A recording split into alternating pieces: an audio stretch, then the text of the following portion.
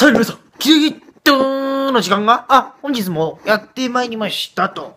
まあ皆さん今日お伝えしたいのはね、まあ今これはちょっと話出てたんですけど、まあまあちょっと、鼻炎なんですよ今。で、風邪ひいてるんですよ今。今ちょっと元気に話してるつもりなんですけど、今僕ちょっと風邪ひいててちょっと今心来てるんですよ。で、それで、まあ、今日皆さんにね、ちょっとご紹介したいものがあるんです。こちらです。あ、やばい、あ、話来た。鼻詰まり鼻水に点眼。